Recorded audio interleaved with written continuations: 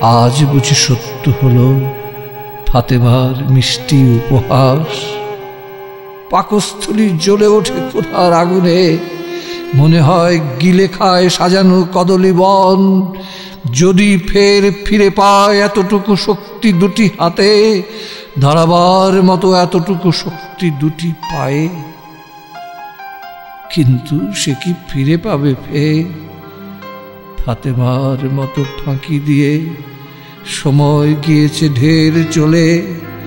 কারা যেন ভুলিয়ে ভালিয়ে নিয়ে গেছে সব শক্তি তার। বিনিময়ে দিয়ে গেছে ব্যাধি, জরা, দুর্বলতা, বক্ষে, ক্ষয় কাশ। অনাদরে, অনাহারে কবরে ডুবেছে সূর্য। ফাতেমার বিয়াল্লিশ বছর। এখন কোথায় যাবে নেকাব্বর?